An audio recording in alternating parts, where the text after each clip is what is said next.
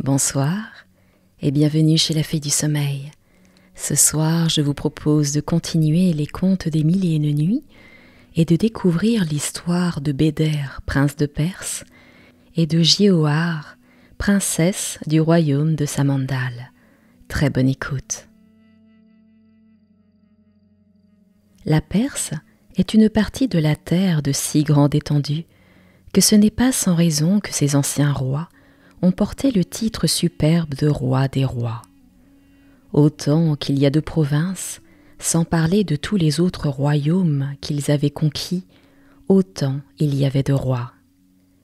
Ces rois ne leur payaient pas seulement de gros tributs, ils leur étaient même aussi soumis que les gouverneurs le sont aux rois de tous les autres royaumes.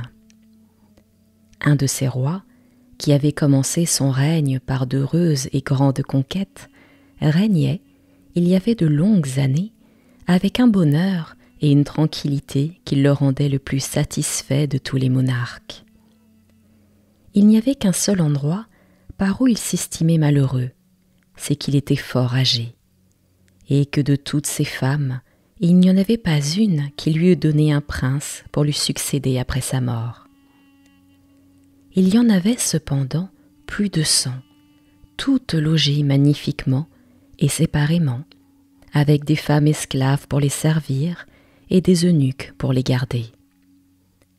Malgré tous ses soins à les rendre contentes et à prévenir leurs désirs, aucune ne remplissait son attente.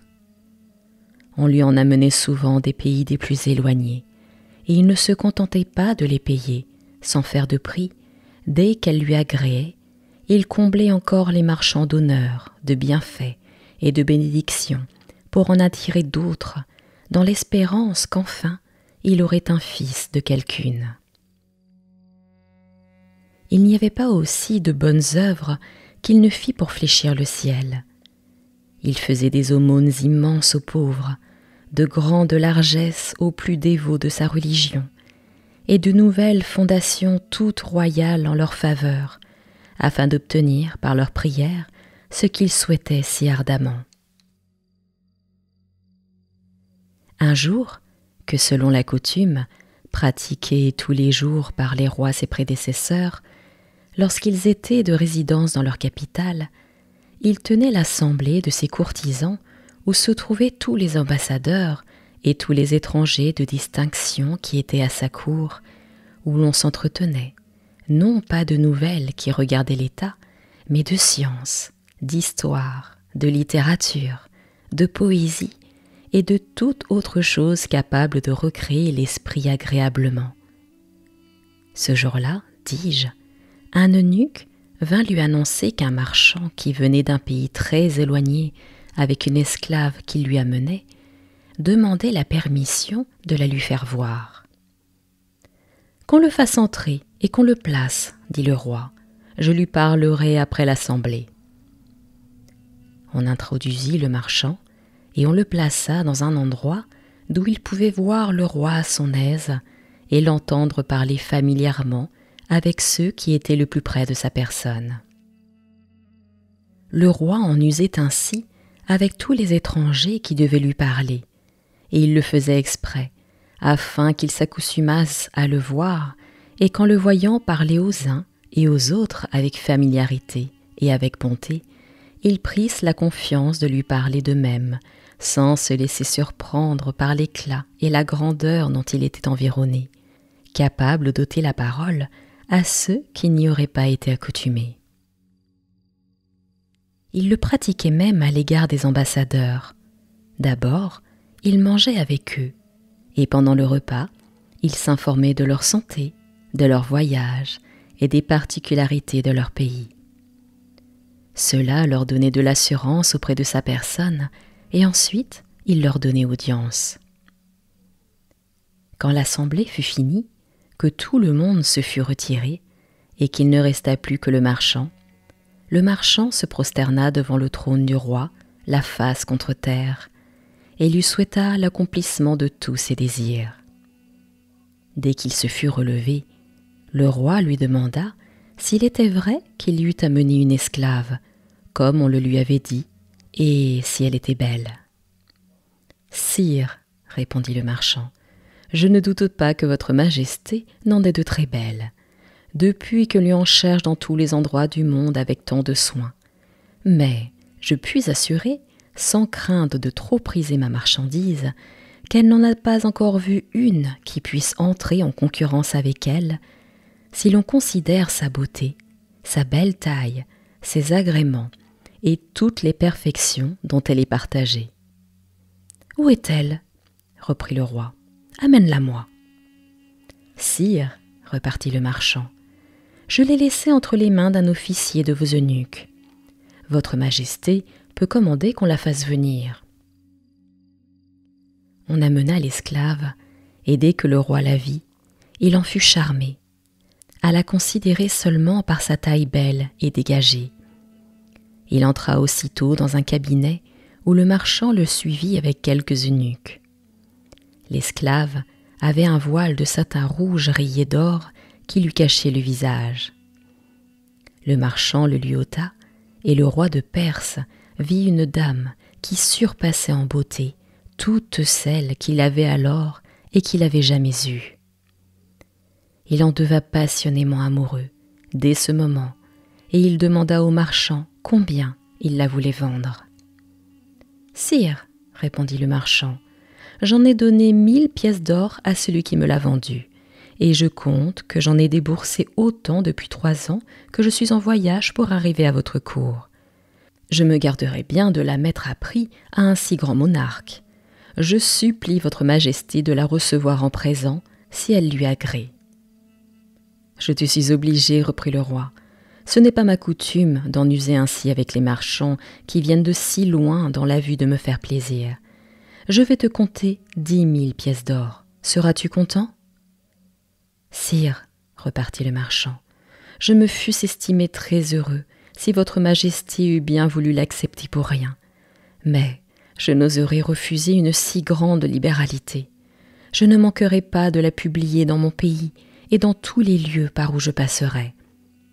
La somme lui fut comptée, et avant qu'il se retirât, le roi le fit revêtir en sa présence d'une robe de brocart d'or.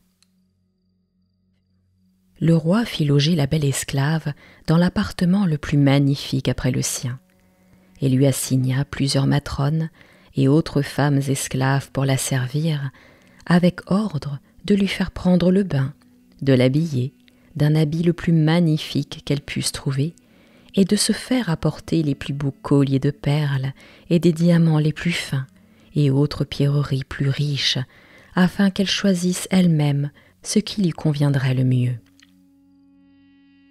Les matrones officieuses, qui n'avaient autre attention que de plaire au roi, furent elles-mêmes ravies en admiration de la beauté de l'esclave. Comme elles s'y connaissaient parfaitement bien, Sire, lui dirent-elles, si votre Majesté a la patience de nous donner seulement trois jours, nous nous engageons de la lui faire voir alors si fort au-dessus de ce qu'elle est présentement, qu'elle ne la reconnaîtra plus. Le roi eut bien de la peine à se priver si longtemps du plaisir de la posséder entièrement. Je le veux bien, reprit-il, mais à la charge que vous me tiendrez votre promesse. La capitale du roi de Perse était située dans une île, et son palais, qui était très superbe, était bâti sur le bord de la mer. Comme son appartement avait vu sur cet élément, celui de la belle esclave, qui n'était pas éloigné du sien, avait aussi la même vue, et elle était d'autant plus agréable que la mer battait presque au pied des murailles. Au bout des trois jours, la belle esclave, parée et ornée magnifiquement, était seule dans sa chambre, assise sur un sofa et appuyée à une des fenêtres qui regardaient la mer, lorsque le roi, averti qu'il pouvait la voir, y entra. L'esclave, qui entendit que l'on marchait dans sa chambre d'un autre air que les femmes qui l'avaient servi jusqu'alors, tourna aussitôt la tête pour voir qui c'était. Elle reconnut le roi, mais, sans en témoigner la moindre surprise, sans même se lever pour lui faire civilité et pour le recevoir, comme s'il eût été la personne du monde la plus indifférente, elle se remit à la fenêtre comme auparavant. Le roi de Perse fut extrêmement étonné de voir qu'une esclave si belle et si bien faite sût si peu de ce qu'était le monde. Il attribua ce défaut à la mauvaise éducation qu'on lui avait donnée et au peu de soin qu'on avait pris de lui apprendre les premières bienséances.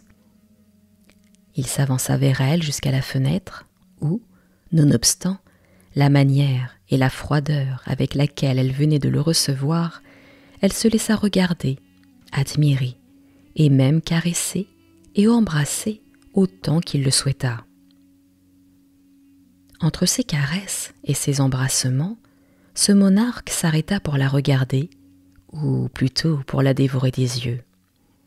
Ma toute belle, ma charmante, ma ravissante, s'écria-t-il, dites-moi, je vous en prie, d'où vous venez, d'où sont et qui sont l'heureux père et l'heureuse mère qui ont mis au monde un chef-d'œuvre de la nature aussi surprenant que vous êtes.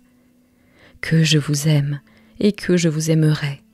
Jamais je n'ai senti pour une femme ce que je sens pour vous. J'en ai cependant bien vu, et j'en vois encore un grand nombre tous les jours. Mais jamais je n'ai vu tant de charme tout à la fois qui m'enlève à moi-même pour me donner tout à vous. Mon cher cœur, ajoutait-il, vous ne me répondrez rien. Vous ne me faites même connaître par aucune marque que vous soyez sensible à tant de témoignages que je vous donne de mon amour extrême. Vous ne détournez pas même vos yeux pour donner aux miens le plaisir de les rencontrer et de vous convaincre qu'on ne peut pas aimer plus que je vous aime. Pourquoi gardez-vous ce grand silence qui me glace? D'où vient ce sérieux, ou plutôt cette tristesse qui m'afflige. Regrettez-vous votre pays, vos parents, vos amis? Et quoi? Un roi de Perse qui vous aime, qui vous adore, n'est-il pas capable de vous consoler et de vous tenir lieu de toutes choses au monde? Quelques protestations d'amour que le roi de Perse fit à l'esclave, et quoi qu'il pût dire pour l'obliger d'ouvrir la bouche et de parler, l'esclave demeura dans un froid surprenant les yeux toujours baissés, sans les lever pour le regarder et sans proférer une seule parole. Le roi de Perse, ravi d'avoir fait une acquisition dont il était si content, ne la pressa pas davantage, dans l'espérance que le bon traitement qu'il lui ferait la ferait changer. Il frappa des mains, et aussitôt plusieurs femmes entrèrent, à qui il commanda de faire servir le souper. Dès que l'on eut servi, mon cœur, dit-il à l'esclave, approchez-vous et venez souper avec moi. Elle se leva de la place où elle était, et quand elle fut assise vis-à-vis du roi, le roi la servit autant qu'il commença de manger, et la servit de même chaque plat pendant le repas. L'esclave mangea comme lui, mais toujours les yeux baissés, sans répondre un seul mot, chaque fois qu'il lui demandait s'il aimait était de son goût. Pour changer de discours, le roi lui demanda comment elle s'appelait, si elle était contente de son habillement, des pierreries dont elle était ornée, de ce qu'elle pensait de son appartement et de l'ameublement, et si la vue de la mer la divertissait. Mais sur toutes ces demandes, elle garda le même silence, dont il ne savait plus que penser. Il s'imagina que peut-être elle était muette.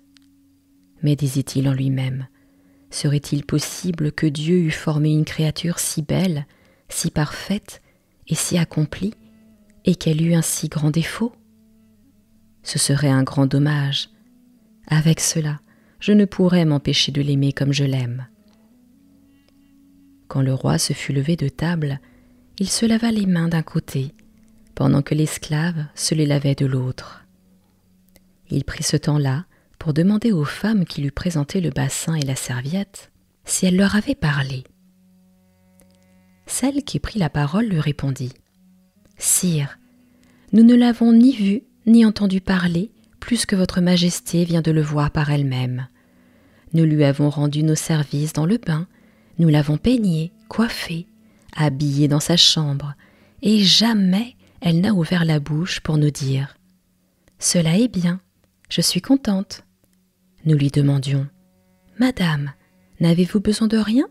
Souhaitez-vous quelque chose? Demandez, commandez-nous. Nous ne savons si c'est mépris, affliction, bêtise, ou qu'elle soit muette. Nous n'avons pu tirer d'elle une seule parole. C'est tout ce que nous pouvons dire à votre Majesté. Le roi de Perse fut plus surpris qu'auparavant sur ce qu'il venait d'entendre. Comme il crut que l'esclave pouvait avoir quelque sujet d'affliction, il voulut essayer de la réjouir. Pour cela, il fit une assemblée de toutes les dames de son palais. Elles vinrent, et celles qui savaient jouer des instruments en jouèrent, et les autres chantèrent ou dansèrent, ou firent l'un et l'autre ou tout à la fois. Elles jouèrent enfin à plusieurs sortes de jeux qui réjouirent le roi. L'esclave seule ne prit aucune part à tous ces divertissements. Elle demeura dans sa place, toujours les yeux baissés, et avec une tranquillité dont toutes les dames ne furent pas moins surprises que le roi. Elles se retirèrent chacune à son appartement, et le roi, qui demeura seul, coucha avec la belle esclave. Le lendemain, le roi de Perse se leva plus content qu'il ne l'avait été de toutes les femmes qu'il eût jamais vues, sans en accepter aucune, et plus passionné pour la belle esclave que le jour d'auparavant. Il le fit bien paraître. En effet, il résolut de ne s'attacher uniquement qu'à elle, et il exécuta sa résolution. Dès le même jour, il congédia toutes ses autres femmes avec les riches habits, les pierreries et les bijoux qu'elles avaient à leur usage, et chacune une grosse somme d'argent, libre de se marier à qui bon leur semblerait, et il ne retint que les matrones et autres femmes âgées, nécessaires pour être auprès de la belle esclave. Elle ne lui donna pas la consolation de lui dire un seul mot pendant une année entière. Il ne laissa pas cependant d'être très assidu auprès d'elle, avec toutes les complaisances imaginables, et de lui donner les marques les plus signalées d'une passion très violente. L'année était écoulée, et le roi, assis un jour près de sa belle, lui protestait que son amour, au lieu de diminuer, augmentait tous les jours avec plus de force. Ma reine, lui disait-il, je ne puis deviner ce que vous en pensez. Rien n'est plus vrai cependant, et je vous jure que je ne souhaite plus rien depuis que j'ai le bonheur de vous posséder. Je fais état de mon royaume, tout grand qu'il est, moins que d'un atome lorsque je vous vois, et que je puis vous dire mille fois que je vous aime. Je ne veux pas que mes paroles vous obligent de le croire, mais vous ne pouvez en douter, après le sacrifice que j'ai fait à votre beauté du grand nombre de femmes que j'avais dans mon palais. Vous pouvez vous en souvenir, il y a un an passé que je les renvoyais toutes, et je m'en repens aussi peu au moment que je vous en parle qu'au moment que je cessais de les voir, et je ne m'en repentirai jamais. Rien ne manquerait à ma satisfaction, à mon contentement et à ma joie, si vous me disiez seulement un mot pour me marquer que vous en avez quelque obligation. Mais comment pourriez-vous me le dire si vous êtes muette? Hélas, je ne crains que trop que cela ne soit. Et quel moyen de ne le pas craindre après un an entier que je vous prie mille fois chaque jour de me parler et que vous gardez un silence si affligeant pour moi?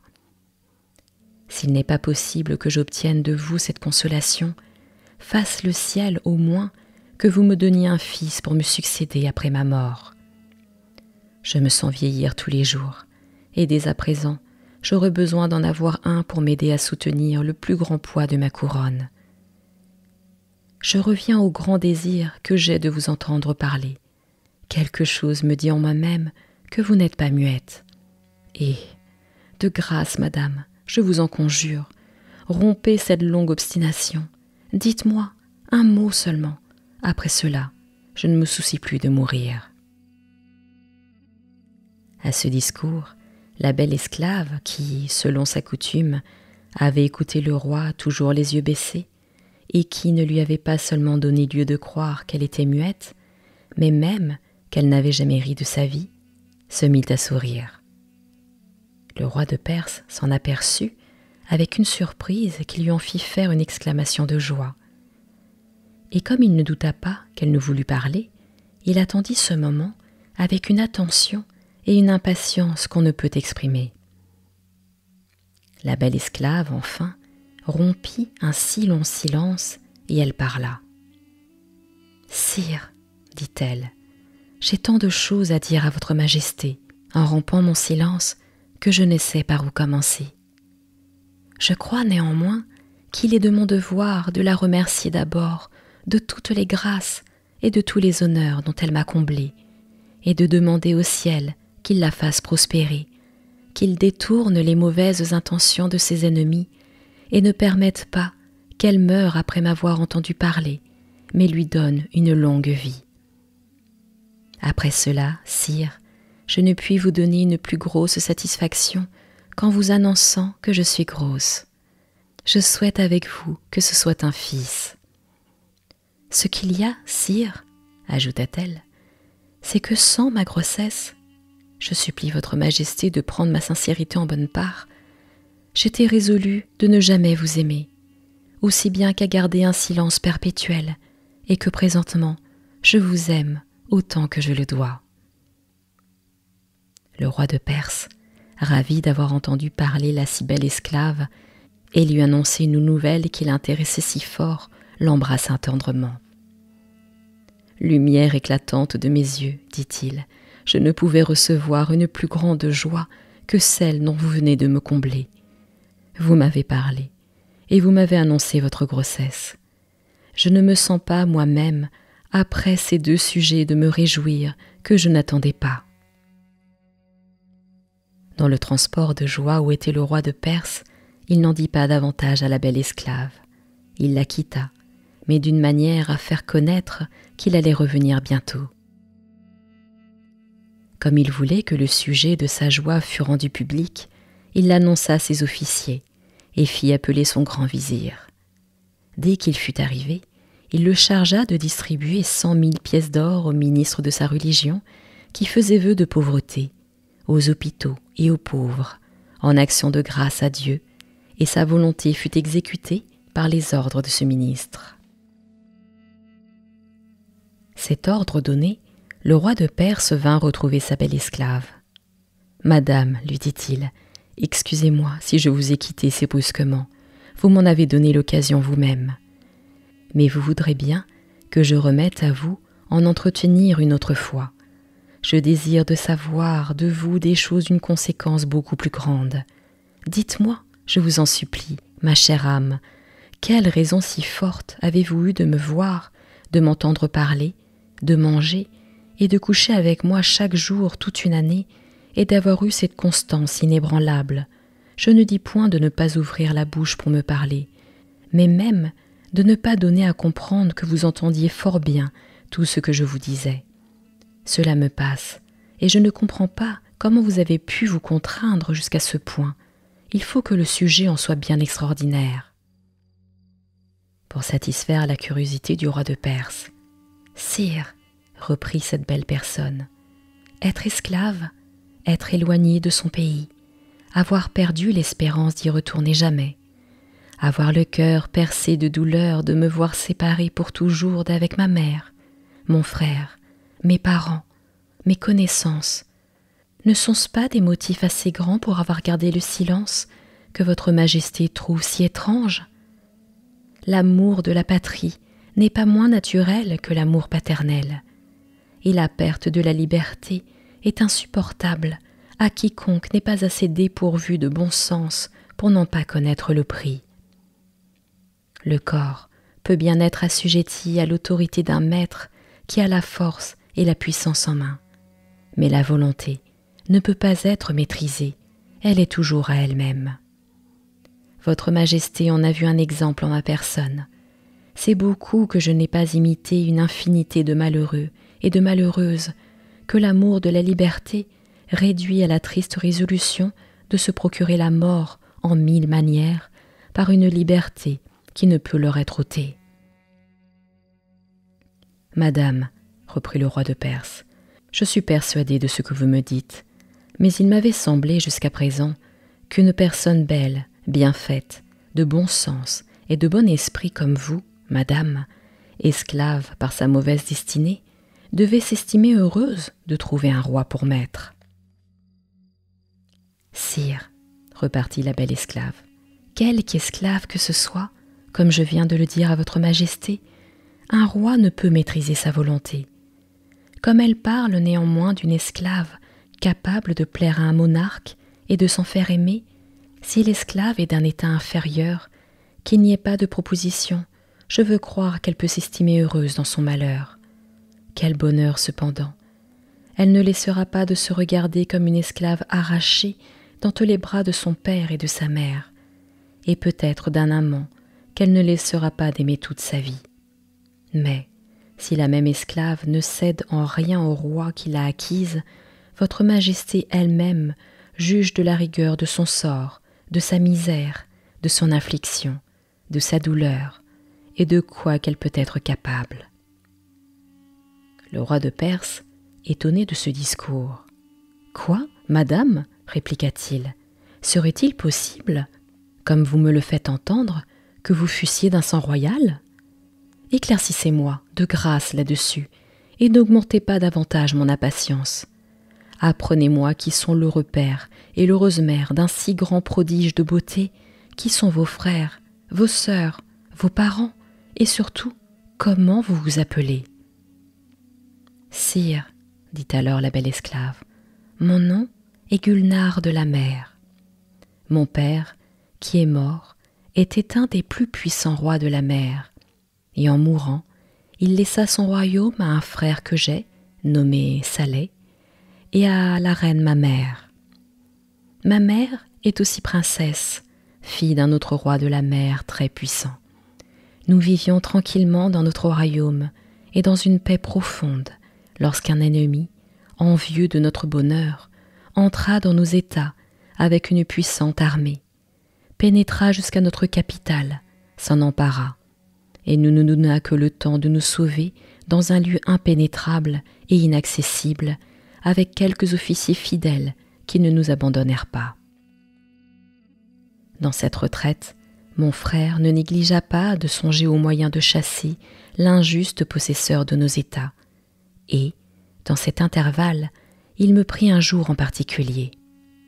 Ma sœur, me dit-il, les événements des moindres entreprises sont toujours très incertains. Je puis succomber dans celle que je médite pour entrer dans nos États, et je serai moins fâché de ma disgrâce que de celle qui pourrait vous en arriver. Pour la prévenir et vous en préserver, je voudrais bien vous en voir marié auparavant, mais dans le mauvais état où sont nos affaires, je ne vois pas que vous puissiez vous donner à aucun de nos princes de la mer. Je souhaiterais que vous puissiez vous résoudre d'entrer dans mon sentiment, qui est que vous épousiez un prince de la terre? Je suis prêt d'y employer tous mes soins de la beauté dont vous êtes, je suis sûre qu'il n'y en a pas un, si puissant qu'il soit, qui ne fût ravi de vous faire part de sa couronne. Ce discours de mon frère me mit dans une grande colère contre lui. Mon frère, lui dis-je, du côté de mon père et de ma mère, je descends comme vous, de rois et de reines de la mer, sans aucune alliance avec les rois et reines de la terre. Je ne prétends pas me mésallier non plus qu'eux, et j'en ai fait le serment dès que j'ai eu assez de connaissances pour m'apercevoir de la noblesse et de l'ancienneté de notre maison. L'état où nous sommes réduits ne m'obligera pas de changer de résolution, et si vous avez à périr dans l'exécution de votre dessein, je suis prête à périr avec vous plutôt que de suivre un conseil que je n'attendais pas de votre part. Mon frère, entêté de ce mariage, qui ne me convenait pas, à mon sens, voulut me représenter qu'il y avait des rois de la terre qui ne céderaient pas à ceux de la mer. Cela me mit dans une colère et dans un emportement contre lui qui m'attirèrent des duretés de sa part, dont je fus piqué au vif. Il me quitta aussi peu satisfait de moi que j'étais mal satisfaite de lui. Dans le dépit où j'étais, je m'élançai du fond de la mer et j'allais aborder l'île de la Lune. Nonobstant le cuison mécontentement qui m'avait obligé de venir me jeter dans cette île, je ne laissais pas d'y vivre assez contente, et je me retirais dans les lieux écartés où j'étais commodément. Mes précautions, néanmoins, n'empêchèrent pas qu'un homme de quelque distinction, accompagné de domestiques, ne me surprit quand je dormais et ne m'emmena chez lui. Il me témoigna beaucoup d'amour, et il n'oublia rien pour me persuader d'y correspondre. Quand il vit qu'il ne gagnait rien par la douceur, il crut qu'elle réussirait mieux par la force. Mais je le fis si bien repentir de son insolence qu'il résolut de me vendre.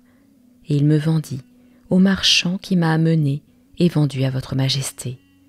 C'était un homme sage, doux et humain, et dans le long voyage qu'il me fit faire, il ne me donna jamais que des sujets de me louer de lui.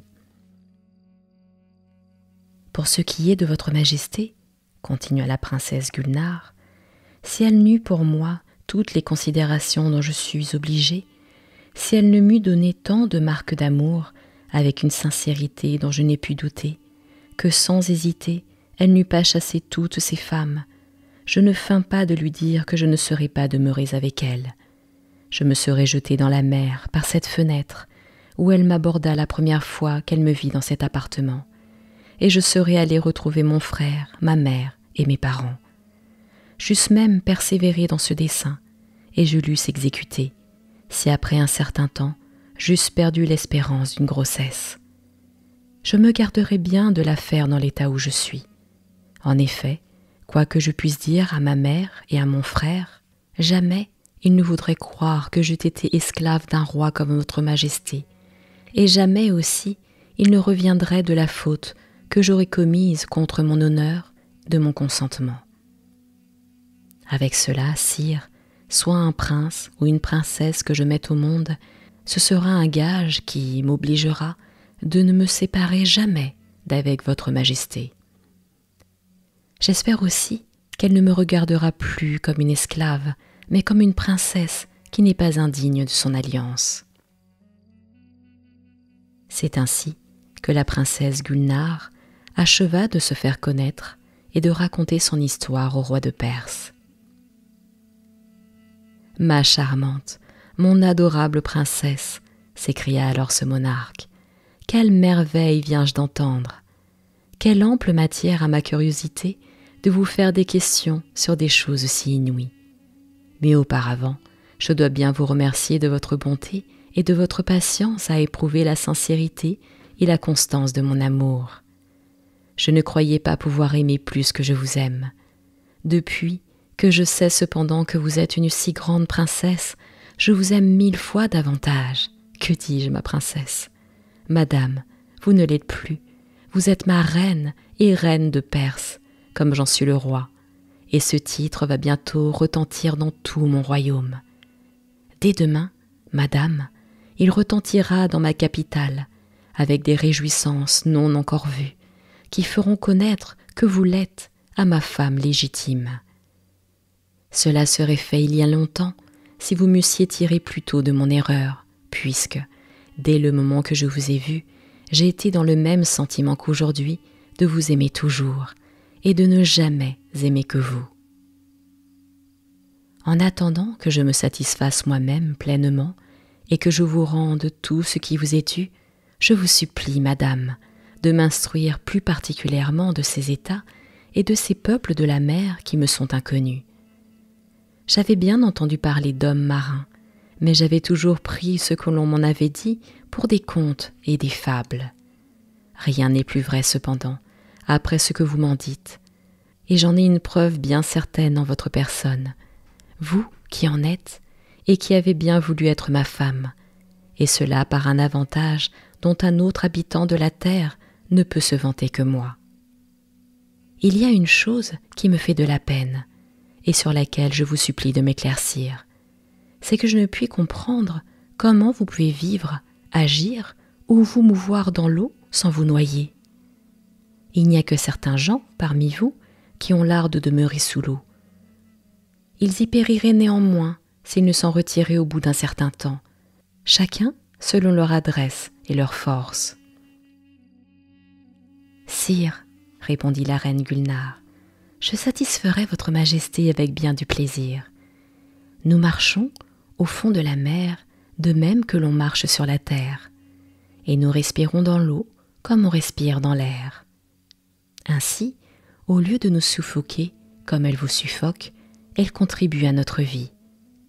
Ce qui est encore bien remarquable, c'est qu'elle ne mouille pas nos habits, et que, quand nous venons sur la terre, nous en sortons sans avoir besoin de les sécher. Notre langage ordinaire est le même que celui dans lequel l'écriture gravée sur le sceau d'un grand prophète Salomon, fils de David, est conçue. Je ne dois pas oublier que l'eau ne nous empêche pas aussi de voir dans la mer. Nous y avons les yeux ouverts sans souffrir aucune incommodité. Comme nous les avons excellents, nous ne laissons pas, nonobstant, la profondeur de la mer d'y voir aussi clair que l'on voit sur la terre. Il en est de même la nuit. La lune nous éclaire, et les planètes et les étoiles ne nous sont pas cachées. J'ai déjà parlé de nos royaumes. Comme la mer est beaucoup plus spacieuse que la terre, il y en a aussi en plus grand nombre et de beaucoup plus grands. Ils sont divisés en provinces, et dans chaque province, il y a plusieurs grandes villes très peuplées. Il y a enfin une infinité de nations, de mœurs et de coutumes différentes comme sur la terre. Les palais des rois et des princes sont superbes et magnifiques. Il y en a de marbre, de différentes couleurs, de cristal de roche, dont la mer abonde, de nacre, de perles, de corail et d'autres matériaux plus précieux. L'or, l'argent et toutes sortes de pierreries y sont en plus grande abondance que sur la terre. Je ne parle pas des perles, de quelque grosseur qu'elles soient sur la terre, on ne les regarde pas dans nos pays. Il n'y a que les moindres bourgeoises qui s'emparent. Comme nous avons une agilité merveilleuse et incroyable parmi nous de nous transporter où nous voulons en moins de rien, nous n'avons besoin ni de chars ni de montures. Il n'y a pas de roi néanmoins qui n'ait ses écuries et ses haras de chevaux marins, mais ils ne s'en servent ordinairement que dans les divertissements, dans les fêtes et dans les réjouissances publiques. Les uns, après les avoir bien exercés, se plaisent à les monter et à faire paraître leur adresse dans les courses. D'autres les attellent à des chars de nacre de perles, ornés de mille coquillages de toutes sortes de couleurs les plus vives. Ces chars sont à découvert avec un trône, où les rois sont assis lorsqu'ils se font voir à leur sujet. Ils sont adroits à les conduire eux-mêmes, et ils n'ont pas besoin de cocher. Je passe sous silence une infinité d'autres particularités très curieuses touchant les pays marins, ajouta la reine Gulnare, qui ferait un très grand plaisir à votre majesté. Mais elle voudra bien que je remette à l'en entretenir plus à loisir pour lui parler d'une autre chose qui est présentement de plus d'importance. Ce que j'ai à lui dire, sire, c'est que les couches des femmes de mer sont différentes des couches des femmes de terre. Et j'ai un sujet de craindre que les sages-femmes de ce pays ne m'accouchent mal. Comme votre majesté n'y a pas moins d'intérêt que moi, sous son bon plaisir, je trouve à propos, pour la sûreté de mes couches, de faire venir la reine ma mère avec des cousines que j'ai, et en même temps le roi, mon frère, avec qui je suis bien aise de me réconcilier. Ils seront ravis de me revoir dès que je leur aurai raconté mon histoire et qu'ils auront appris que je suis femme du puissant roi de Perse. Je supplie votre majesté de me le permettre. Ils seront bien aises aussi de lui rendre leur respect, et je puis lui promettre qu'elle aura de la satisfaction de les voir? Madame, reprit le roi de Perse, vous êtes la maîtresse, faites ce qu'il vous plaira. Je tâcherai de les recevoir avec tous les honneurs qu'ils méritent. Mais je voudrais bien savoir par quelle voie vous leur ferez savoir ce que vous désirez d'eux, et quand ils pourront arriver, afin que je donne ordre aux préparatifs pour leur réception, et que j'aille moi-même au-devant d'eux. Sire, répondit la reine Gulnare. Il n'est pas besoin de cérémonie. Ils seront ici dans un moment, et votre majesté verra de quelle manière ils arriveront. Elle n'a qu'à entrer dans ce petit cabinet et regarder par la jalousie. Quand le roi de Perse fut entré dans le cabinet, la reine Gulnare se fit apporter une casserole avec du feu par une des femmes qu'elle renvoya en lui disant de fermer la porte. Lorsqu'elle fut seule, elle prit un morceau de bois d'aloès dans une boîte. Elle le mit dans la cassolette et, dès qu'elle vit paraître la fumée, elle prononça des paroles inconnues au roi de Perse, qui observait avec grande attention tout ce qu'elle faisait. Et elle n'avait pas encore achevé que l'eau de mer se troubla. Le cabinet où était le roi était disposé de manière qu'il s'en aperçut au travers de la jalousie en regardant du côté des fenêtres qui étaient sur la mer. La mer enfin s'entr'ouvrit à quelque distance, et aussitôt il s'en éleva un jeune homme bien fait et de belle taille, avec la moustache de verre de mer. Une dame, déjà sur l'âge, mais d'un air majestueux, s'en éleva de même un peu derrière lui, avec cinq jeunes dames qui ne cédaient en rien à la beauté de la reine Gulnare. La reine Gulnare se présenta aussitôt à une des fenêtres, et elle reconnut le roi son frère, la reine sa mère et ses parentes, qui la reconnurent de même. La troupe s'avança, comme portée sur la surface de l'eau, sans marcher, et quand ils furent tous sur le bord, ils s'élancèrent légèrement, l'un après l'autre, sur la fenêtre où la reine Gulnare avait paru, et d'où elle s'était retirée pour leur faire place. Le roi Salé, la reine sa mère et ses parents l'embrassèrent avec beaucoup de tendresse et les larmes aux yeux à mesure qu'ils entrèrent. Quand la reine Gulnare les eut reçus avec tout l'honneur possible et qu'elle leur eut fait prendre place sur le sofa, la reine sa mère prit la parole. Ma fille, lui dit-elle, j'ai bien de la joie de vous revoir après une si longue absence, et je suis sûre que votre frère et vos parentes n'en ont pas moins que moi. Votre éloignement, sans en avoir rien dit à personne, nous a jetés dans une infliction inexprimable, et nous ne pourrions vous dire combien nous en avons versé de larmes. Nous ne savons autre chose du sujet qui peut vous avoir obligé de prendre un parti si surprenant que ce que votre frère nous a rapporté de l'entretien qu'il avait eu avec vous. Le conseil qu'il vous donna alors lui avait paru avantageux pour votre établissement, dans l'état où vous étiez aussi bien que nous. Il ne fallait pas vous alarmer si fort. S'il ne vous plaisait pas, et vous voudrez bien que je vous dise que vous avez pris la chose tout autrement que vous ne le deviez. Mais laissons là ce discours, qui ne ferait que renouveler des sujets de douleur et de plainte que vous devez oublier avec nous, et faites-nous part de tout ce qui vous est arrivé depuis un si longtemps que nous ne nous sommes vus, et de l'état où vous êtes présentement.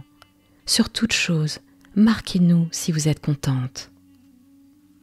La reine Gulnare se jeta aussitôt aux pieds de la reine sa mère, et après qu'elle lui eut baisé la main en se relevant.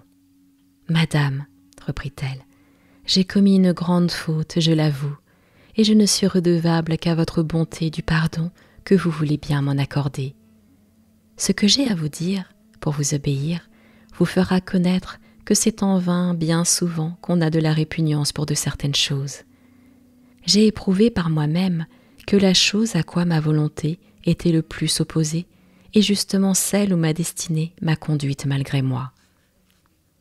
Elle lui raconta tout ce qui lui était arrivé depuis que le dépit l'avait porté à se lever du fond de la mer pour venir sur la terre. Lorsqu'elle eut achevé, en marquant qu'enfin elle avait été vendue au roi de Perse chez qui elle se trouvait. Ma sœur, lui dit le roi son frère, vous avez grand tort d'avoir souffert tant d'indignité, et vous ne pouvez vous en plaindre qu'à vous-même. Vous aviez le moyen de vous en délivrer, et je m'étonne de votre patience à demeurer si longtemps dans l'esclavage. Levez-vous, et revenez avec nous au royaume que j'ai reconquis sur le fier ennemi qui s'en était emparé.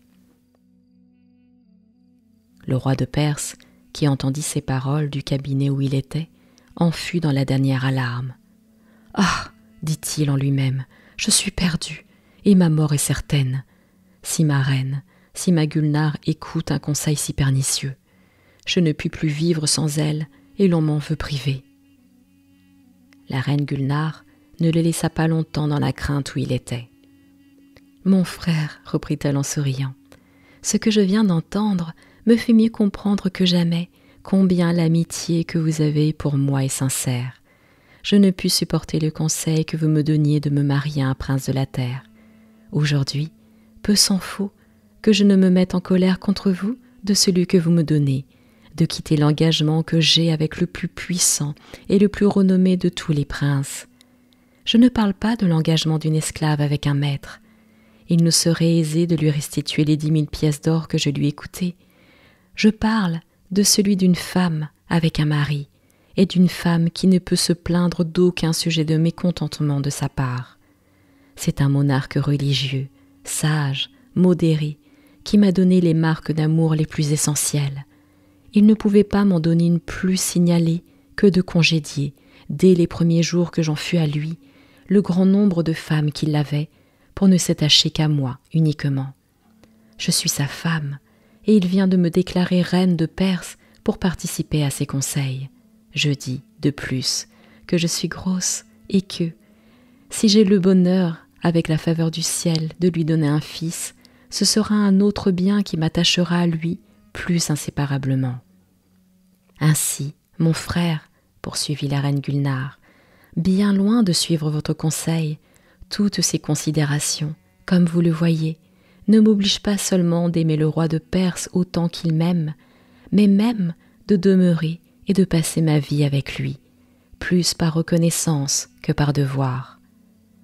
J'espère que ni ma mère, ni vous, avec mes bonnes cousines, vous ne désapprouverez ma résolution, non plus que l'alliance que j'ai faite sans l'avoir cherchée, qui fait honneur également au monarque de la mer et de la terre. Excusez-moi si je vous ai donné la peine de venir ici au plus profond des ondes pour vous en faire part et avoir le bien de vous voir après une si longue séparation. Ma sœur, reprit le roi Salé, la proposition que je vous ai faite de revenir avec nous sur le récit de vos aventures que je n'ai pu entendre sans douleur n'a été que pour vous marquer combien nous vous aimons tous, combien je vous honore en particulier, et que rien ne nous touche davantage que tout ce qui peut contribuer à votre bonheur. Par ces mêmes motifs, je ne puis en mon particulier qu'approuver une résolution si raisonnable et si digne de vous, après ce que vous venez de nous dire de la personne du roi de Perse, votre époux, et des grandes obligations que vous lui en avez. Pour ce qui est de la reine, votre mère, et la mienne, je suis persuadée qu'elle n'est pas d'un autre sentiment. Cette princesse confirma ce que le roi son fils venait d'avancer. Ma fille, reprit-elle, en s'adressant aussi à la reine Gulnare, je suis ravie que vous soyez contente, et je n'ai rien à ajouter à ce que le roi votre frère vient de vous témoigner. Je serais la première à vous condamner si vous n'aviez toute la reconnaissance que vous devez pour un monarque qui vous aime avec tant de passion et qui a fait de si grandes choses pour vous.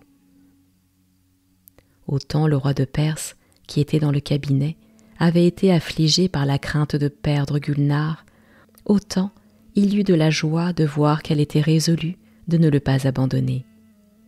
Comme il ne pouvait plus douter de son amour après une déclaration si authentique, il l'en aima mille fois davantage, et il se promit bien de lui en marquer sa reconnaissance par tous les endroits qui lui seraient possibles.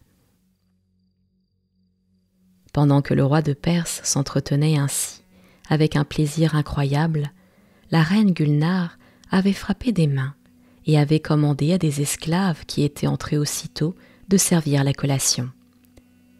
Quand elle fut servie, elle invita la reine sa mère, le roi son frère et ses parentes de s'approcher et de manger. Mais ils eurent tous la même pensée que, sans en avoir demandé la permission, ils se trouvaient dans le palais d'un puissant roi qui ne les avait jamais vus et qui ne les connaissait pas, et qu'il y aurait une grande incivilité à manger à table sans lui. La rougeur leur monta au visage, et de l'émotion où ils en étaient, ils jetèrent des flammes par les narines et par la bouche avec des yeux enflammés. Le roi de Perse fut dans une frayeur inexprimable à ce spectacle, auquel il ne s'attendait pas et dont il ignorait la cause. La reine Gulnare, qui se douta de ce qu'il en était et qui avait compris l'intention de ses parents, ne fit que leur marquer en se levant de sa place et qu'elle allait revenir. Elle passa au cabinet où elle rassura le roi par sa présence.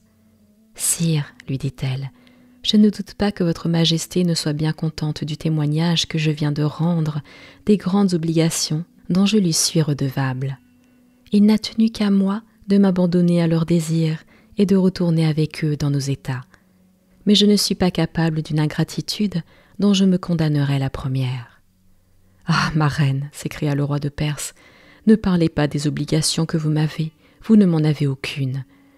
Je vous en ai moi-même de si grandes que jamais je ne pourrai vous en témoigner assez de reconnaissance. Je n'avais pas cru que vous m'aimassiez au point que je vois que vous m'aimez. Vous venez de me le faire connaître de la manière la plus éclatante. Eh, sire, reprit la reine Gulnare, pouvais-je en faire moins que ce que je viens de faire? Je n'en fais pas encore assez après tous les honneurs que j'ai reçus, après tant de bienfaits dont vous m'avez comblé, après tant de marques d'amour auxquelles il n'est pas possible que je sois insensible. Mais sire, ajouta la reine Gulnare, laissons là ce discours pour vous assurer de l'amitié sincère dont la reine ma mère et le roi mon frère vous honorent. Ils meurent de l'envie de vous voir et de vous en assurer eux-mêmes. J'ai même pensé me faire une affaire avec eux en voulant leur donner la collation avant de leur procurer cet honneur. Je supplie donc votre Majesté de vouloir bien entrer et de les honorer de votre présence. Madame, reprit le roi de Perse, j'aurai un grand plaisir de saluer des personnes qui vous appartiennent de si près. Mais ces flammes que j'ai vues sortir de leurs narines et de leurs bouches me donnent de la frayeur. Sire, répliqua la reine en riant, ces flammes ne doivent pas lui faire la moindre peine. Elles ne signifient autre chose que leur répugnance à manger de ses biens dans son palais qu'elle ne les honore de sa présence et ne mange avec eux. Le roi de Perse, rassuré par ces paroles, se leva de sa place et entra dans la chambre avec la reine Gulnare, et la reine Gulnare le présenta à la reine sa mère, au roi son frère et à ses parentes, qui se prosternèrent aussitôt la face contre terre. Le roi de Perse courut aussitôt à eux, les obligea de se relever, et les embrassa l'un après l'autre. Après qu'ils se furent tous assis, le roi Salé prit la parole. Sire, dit-il au roi de Perse, nous ne pouvons assez témoigner notre joie à votre majesté de ce que la reine Gulnare, ma sœur, dans sa disgrâce, a eu le bonheur de se trouver sous la protection d'un monarque si puissant. Nous pouvons l'assurer qu'elle n'est pas indigne du haut rang où il y a fait l'honneur de l'élever. Nous avons toujours eu une si grande amitié et tant de tendresse pour elle que nous n'avons pu nous résoudre de l'accorder à aucun des puissants princes de la mer qui ne l'avaient demandé en mariage avant même qu'elle fût en âge. Le ciel vous la réservait, sire, et nous ne pouvons mieux le remercier de la faveur qu'il lui a faite qu'en lui demandant d'accorder à votre majesté la grâce de vivre de longues années avec elle, avec toutes sortes de prospérité et de satisfaction. Il fallait bien, reprit le roi de Perse, que le ciel me l'eût réservé comme vous le remarquez.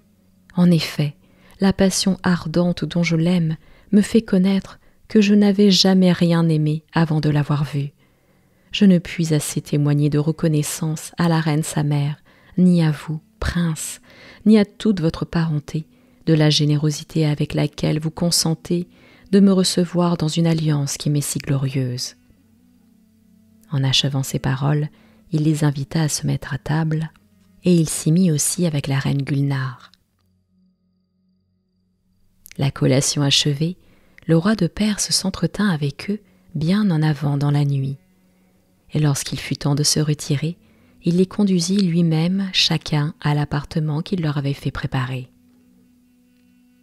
le roi de Perse régala ses illustres hôtes par des fêtes continuelles, dans lesquelles il n'oublia rien de tout ce qui pouvait faire paraître sa grandeur et sa magnificence, et, insensiblement, il les engagea de demeurer à la cour jusqu'aux couches de la reine.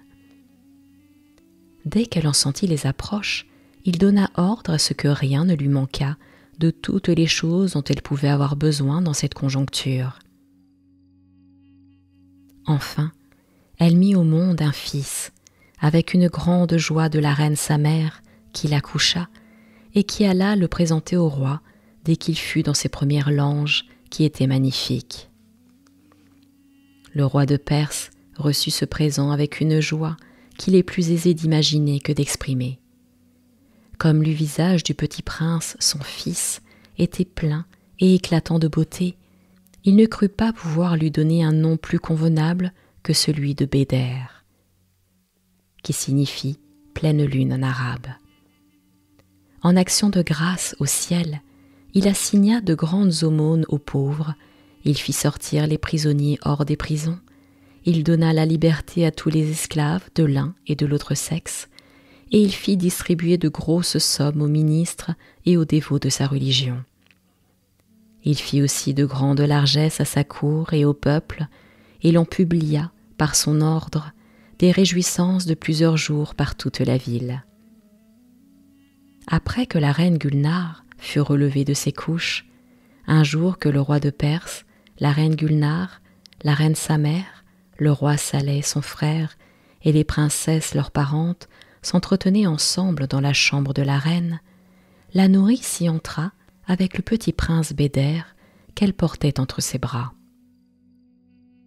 Le roi Salé se leva aussitôt de sa place, courut au petit prince, et après l'avoir pris d'entre les bras de la nourrice dans les siens, il se mit à le baiser et à le caresser avec de grandes démonstrations de tendresse. Il fit plusieurs tours par la chambre en jouant, en le tenant en l'air entre ses mains, et tout d'un coup, dans le transport de sa joie, il s'élança par une fenêtre qui était ouverte et se plongea dans la mer avec le prince. Le roi de Perse, qui ne s'attendait pas à ce spectacle, poussa des cris épouvantables, dans la croyance qu'il ne reverrait plus le prince, son cher fils, ou, s'il avait à le revoir, qu'il ne le reverrait que noyé. Peu s'en fallut qu'il ne rendit l'âme au milieu de son affliction, de sa douleur et de ses pleurs. Sire, lui dit la reine Gulnare, d'un visage et d'un ton assuré, à le rassurer lui-même, que votre majesté ne craigne rien. Le petit prince est mon fils comme il est le vôtre, et je ne l'aime pas moins que vous l'aimez. Vous voyez cependant que je n'en suis pas alarmée, je ne le dois pas être aussi. En effet, il ne court aucun risque, et vous verrez bientôt réapparaître le roi son oncle, qui le rapportera sain et sauf quoiqu'il soit né de votre sang, par l'endroit néanmoins qu'il m'appartient, il ne laisse pas d'avoir le même avantage que nous, de pouvoir vivre également dans la mer et sur la terre. La reine sa mère et les princesses ses parentes lui confirmèrent la même chose, mais leurs discours ne firent pas un grand effet pour le guérir de sa frayeur. Il ne lui fut pas possible d'en revenir tout le temps que le prince Béder ne parut plus à ses yeux. La mer, enfin, se troubla, et l'on revit bientôt le roi Salé, qui s'en éleva avec le petit prince entre les bras, et qui, en se soutenant en l'air, rentra par la même fenêtre qu'il était sorti. Le roi de Perse fut ravi, et dans une grande admiration de revoir le prince Béder aussi tranquille que quand il avait cessé de le voir. Le roi Salé lui demanda Sire, votre Majesté n'a-t-elle pas une grande peur quand elle m'a vu plonger dans la mer avec le prince mon neveu Ah, prince, reprit le roi de Perse, je ne puis vous l'exprimer. Je l'ai cru perdu dès ce moment, et vous m'avez redonné la vie en me le rapportant. Sire, repartit le roi Salé, je m'en étais douté, mais il n'y avait pas le moindre sujet de crainte. Avant de me plonger, j'avais prononcé sur lui les paroles mystérieuses qui étaient gravées sur le sceau du grand roi Salomon, fils de David. Nous pratiquons la même chose à l'égard de tous les enfants qui nous naissent dans les régions du fond de la mer, et en vertu de ces paroles, ils reçoivent le même privilège que nous avons par-dessus les hommes qui demeurent sur la terre. De ce que votre Majesté vient de voir, elle put juger de l'avantage que le prince Béder a acquis par sa naissance du côté de la reine Gulnar, ma sœur. Tant qu'il vivra, et toutes les fois qu'il le voudra, il lui sera libre de se plonger dans la mer et de parcourir les vastes empires qu'elle renferme dans son sein. Après ces paroles, le roi Saleh, qui avait déjà remis le petit prince Béder entre les bras de sa nourrice, ouvrit une caisse qu'il était allé prendre dans son palais dans le peu de temps qu'il avait disparu, et qu'il avait rapporté, rempli de trois cents diamants gros comme des œufs de pigeon, d'un pareil nombre de rubis d'une grosseur extraordinaire, d'autant de verges d'émeraude de la longueur d'un demi-pied, et de trente fils ou colliers de perles, chacun de dix. Sire, dit-il au roi de Perse, en lui faisant présent de cette caisse, lorsque nous avons été appelés par la reine ma sœur, nous ignorions en quel endroit de la terre elle était, et qu'elle eut l'honneur d'être l'épouse d'un si grand monarque. C'est ce qui a fait que nous sommes arrivés les mains vides. Comme nous ne pouvons assez témoigner notre reconnaissance à votre Majesté, nous la supplions d'en agréer cette faible marque en considération des faveurs singulières qu'il lui a plu de lui faire, auxquelles nous ne prenons pas moins de part qu'elle-même. On ne peut exprimer quelle fut la surprise du roi de Perse quand il vit tant de richesses renfermées dans un si petit espace. Et quoi, prince? s'écria-t-il, appelez-vous une faible marque de votre reconnaissance lorsque vous ne me devez rien, un présent d'un prix inestimable Je vous déclare encore une fois que vous ne m'êtes redevable de rien, ni la reine votre mère, ni vous. Je m'estime trop heureux du consentement que vous avez donné à l'alliance que j'ai contractée avec vous. Madame, dit-il à la reine Gulnare en se tournant de son côté, le roi votre frère me met dans une confusion dont je ne puis revenir, et je le supplierais de trouver bon que je refuse son présent, si je ne craignais qu'il ne s'en offensât. Priez-le d'agréer que je me dispense de l'accepter. Sire, repartit le roi Salé, je ne suis pas surpris que votre Majesté trouve le présent extraordinaire. Je sais qu'on n'est pas accoutumé sur la terre à voir des pierreries de cette qualité et en si grand nombre tout à la fois. Mais si elle savait que je sais où sont les mines d'où on les tire, et qu'il est en ma possession d'en faire un trésor plus riche que tout ce qu'il y a dans les trésors des rois de la terre, elle s'étonnerait que nous ayons pris la hardiesse de lui faire un présent de si peu de choses. Aussi, nous vous supplions de ne pas les regarder par cet endroit, mais par l'amitié sincère qui nous oblige de vous l'offrir, et de ne pas nous donner la mortification de ne pas le recevoir de même. Des manières si honnêtes obligèrent le roi de Perse à l'accepter, et lui en fit de grands remerciements, de même qu'à la reine sa mère. Quelques jours après, le roi Saleh témoigna au roi de Perse que la reine sa mère, les princesses ses parentes, et lui n'auraient pas un plus grand plaisir que de passer toute leur vie à la cour, mais que, comme il y avait longtemps qu'ils étaient absents de leur royaume et que leur présence y était nécessaire, il le priait de trouver bon qu'ils prissent congé de lui et de la reine Gulnare. Le roi de Perse leur marqua qu'il était bien fâché de ce qui n'était pas en son pouvoir de leur rendre la même civilité, d'aller leur rendre visite dans leur état. Mais comme je suis persuadé, ajouta-t-il, que vous n'oublierez pas la reine Gulnare et que vous la viendrez voir de temps en temps, J'espère que j'aurai l'honneur de vous revoir plus d'une fois. Il y eut beaucoup de larmes répandues de part et d'autre dans leur séparation. Le roi Salé se sépara le premier, mais la reine, sa mère, et les princesses furent obligées, pour le suivre, de s'arracher en quelque manière des embrassements de la reine Gulnare, qui ne pouvait se résoudre de les laisser partir. Dès que cette troupe royale eut disparu, le roi de Perse ne put s'empêcher de dire à la reine Gulnare Madame, j'eusse regardé comme un homme qui eût voulu abuser de ma crédulité, celui qui eût entrepris de me faire passer pour véritable les merveilles dont j'ai été témoin depuis le moment que votre illustre famille a honoré mon palais de sa présence. Mais je ne puis démentir mes yeux.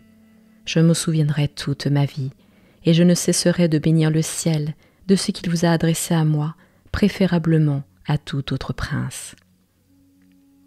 Le petit prince Béder fut nourri et élevé dans le palais, sous les yeux du roi et de la reine de Perse, qui le virent croître et augmenter en beauté avec une grande satisfaction.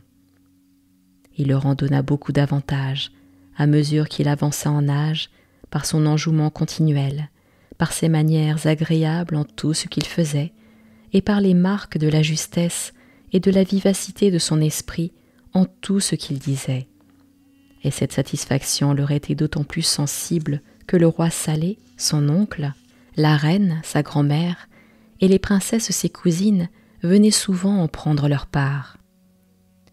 On n'eut point de peine à lui apprendre à lire et à écrire, et on lui enseigna avec la même facilité toutes les sciences qui convenaient à un prince de son rang.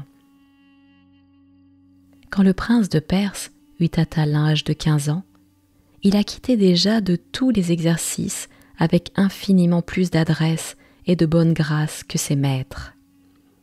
Avec cela, il était d'une sagesse et d'une prudence admirables.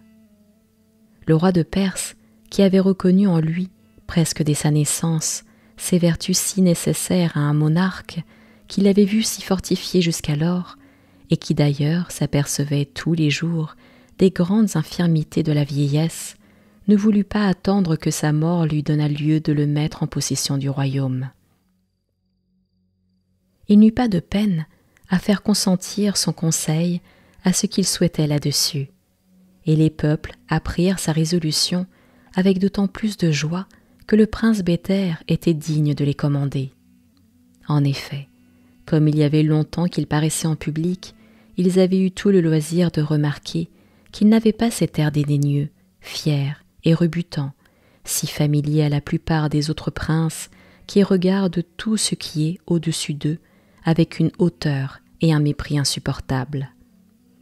Il savait au contraire qu'il regardait tout le monde avec une bonté qui invitait à s'approcher de lui, qu'il écoutait favorablement ceux qui avaient à lui parler, qu'il leur répondait avec une bienveillance particulière, et qu'il ne refusait rien à personne, pour peu que ce qu'on lui demandait fût juste. Le jour de la cérémonie fut arrêté, et ce jour-là, au milieu de son conseil, qui était plus nombreux qu'à l'ordinaire, le roi de Perse, qui d'abord s'était assis sur son trône, en descendit, ôta la couronne de dessus sa tête, la mit sur celle du prince Béder, et, après l'avoir aidé à monter à sa place, il lui baisa la main pour marque qu'il lui remettait toute son autorité et tout son pouvoir, après quoi il se mit au-dessous de lui, au rang des vizirs et des émirs. Aussitôt, les vizirs, les émirs et tous les officiers principaux vinrent se jeter aux pieds du nouveau roi et lui prêtèrent le serment de fidélité, chacun dans son rang. Le grand vizir fit ensuite le rapport de plusieurs affaires importantes sur lesquelles il prononça avec une sagesse qui fit l'admiration de tout ce conseil. Il déposa ensuite plusieurs gouverneurs convaincus de malversation et en mit d'autres à leur place, avec un discernement si juste et si équitable qu'il s'attira les acclamations de tout le monde, d'autant plus honorable que la flatterie n'y avait aucune part. Il sortit enfin du conseil, et accompagné du roi son père, il alla à l'appartement de la reine Gulnare. La reine ne lui vit pas plutôt avec la couronne sur la tête qu'elle courut à lui et l'embrassa avec beaucoup de tendresse en lui souhaitant un règne de longue durée.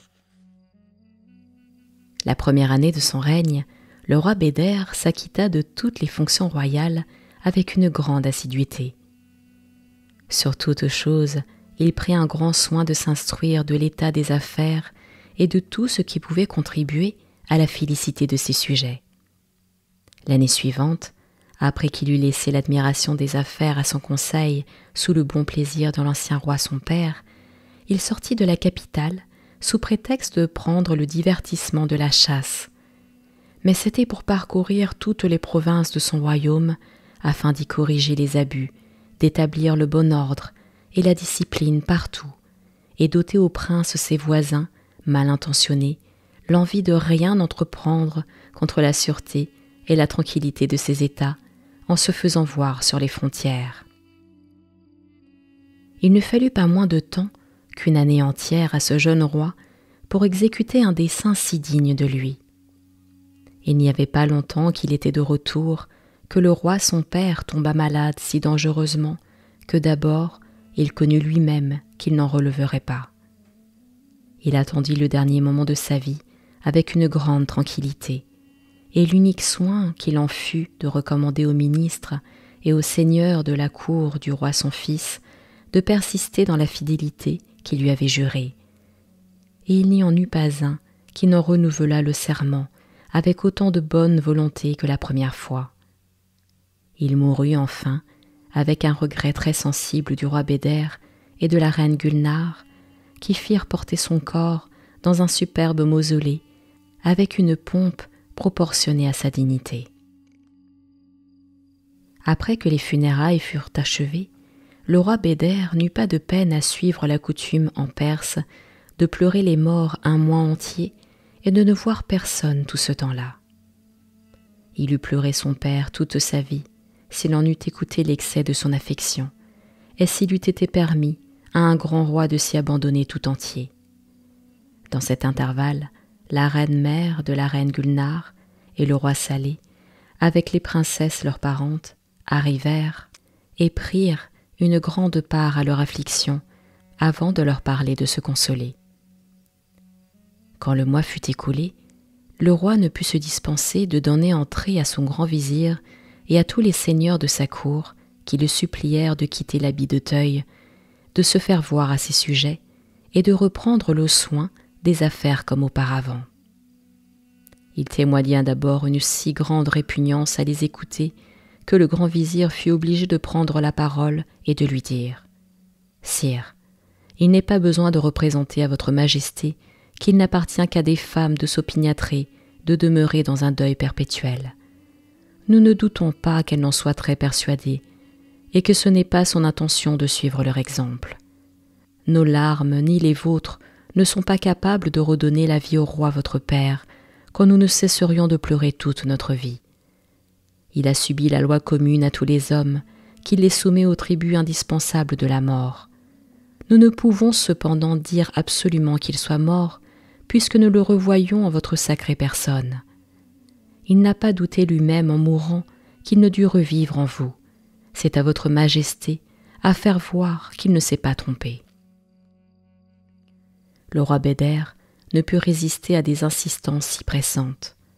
Il quitta l'habit de deuil dès ce moment, et, après qu'il eut repris l'habillement et les ornements royaux, il commença de pourvoir aux besoins de son royaume et de ses sujets avec la même attention qu'avant la mort du roi son père il s'en acquitta avec une approbation universelle.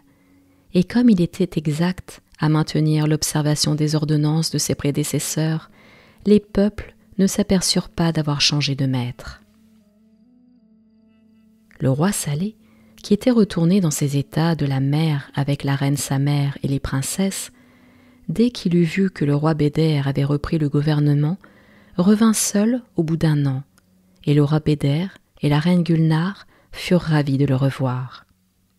Un soir, au sortir de table, après qu'on eut desservi et qu'on les eut laissés seuls, ils s'entretinrent de plusieurs choses. Insensiblement, le roi Salé tomba sur les louanges du roi son neveu et témoigna à la reine sa sœur combien il était satisfait de la sagesse avec laquelle il gouvernait et lui avait acquis une si grande réputation, non seulement auprès des rois ses voisins, mais même jusqu'aux royaumes les plus éloignés. Le roi Béder, qui ne pouvait entendre parler de sa personne si avantageusement, et qui ne voulait pas aussi, par bienséance, imposer silence au roi son oncle, se tourna de l'autre côté et fit semblant de dormir, en appuyant sa tête sur un coussin qui était derrière lui.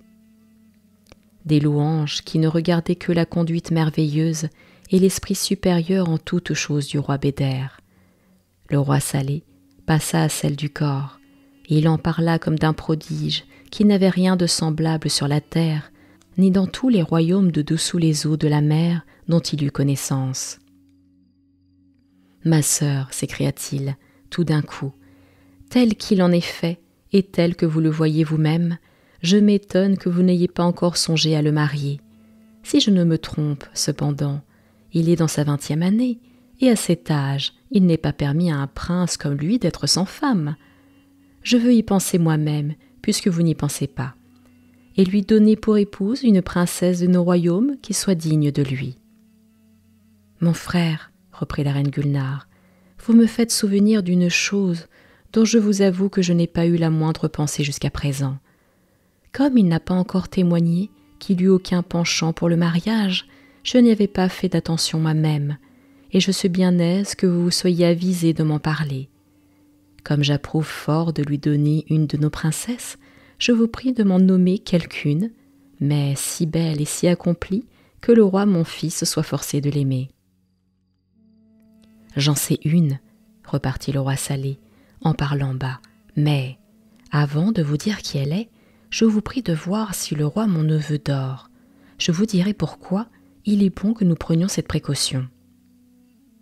La reine Gulnare se retourna, et comme elle vit Bédère dans la situation où il était, elle ne douta nullement qu'il ne dormît profondément. Le roi Bédère, cependant, bien loin de dormir, redoubla son attention pour ne rien perdre de ce que le roi son oncle avait à dire avec tant de secret. Il n'est pas besoin que vous vous contraigniez, dit la reine au roi son frère. Vous pouvez parler librement, sans craindre d'être entendu. Il n'est pas à propos, reprit le roi Salé, que le roi mon neveu ait sitôt connaissance de ce que j'ai à vous dire. L'amour, comme vous le savez, se prend quelquefois par l'oreille, et il n'est pas nécessaire qu'il aime de cette manière celle que j'ai à vous nommer.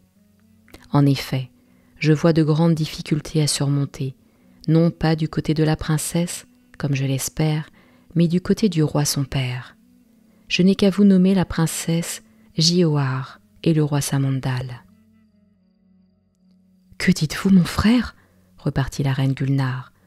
La princesse Gioar n'est-elle pas encore mariée? Je me souviens de l'avoir vue peu de temps avant que je me séparasse avec vous. Elle avait environ dix-huit mois, et dès lors, elle était d'une beauté surprenante. Il faut qu'elle soit aujourd'hui la merveille du monde, si sa beauté a toujours augmenté depuis ce temps-là. Le peu d'âge qu'elle a plus que le roi mon fils ne doit pas nous empêcher de faire nos efforts pour lui procurer un parti si avantageux. Il ne s'agit que de savoir les difficultés que vous y trouvez et de les surmonter. Ma sœur, répliqua le roi Salé, c'est que le roi de Samandal est d'une vanité insupportable, et qu'il se regarde au-dessus de tous les autres rois, qu'il y a peu d'apparence de pouvoir entrer en traité avec lui sur cette alliance. J'irai moi-même, néanmoins, lui faire la demande de la princesse sa fille, et s'il nous refuse, nous nous adresserons ailleurs où nous serons écoutés plus favorablement. C'est pour cela, comme vous le voyez, ajouta-t-il, qu'il est bon que le roi mon neveu ne sache rien de notre dessein, que nous soyons certains du consentement du roi de Samandal de crainte que l'amour de la princesse Giohar ne s'empare de son cœur et que nous puissions réussir à la lui obtenir.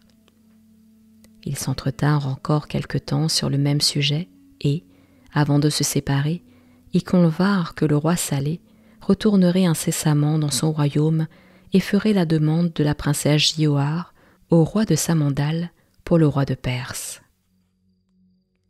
La reine Gulnare et le roi Salé qui croyaient que le roi Béder dormait véritablement, l'éveillèrent quand ils voulurent se retirer. Et le roi Béder réussit fort bien à faire semblant de se réveiller comme s'il eût dormi d'un profond sommeil. Il était vrai cependant qu'ils n'avaient pas perdu un mot de leur entretien, et que le portrait qu'ils avaient fait de la princesse Giohar avait enflammé son cœur d'une passion qui lui était toute nouvelle. Il se forma une idée de sa beauté si avantageuse que le désir de la posséder lui fit passer toute la nuit dans des inquiétudes qui ne lui permirent pas de fermer l'œil un moment. C'était la fée du sommeil. Je vous retrouve très prochainement pour la suite et la fin de cette histoire. À très bientôt.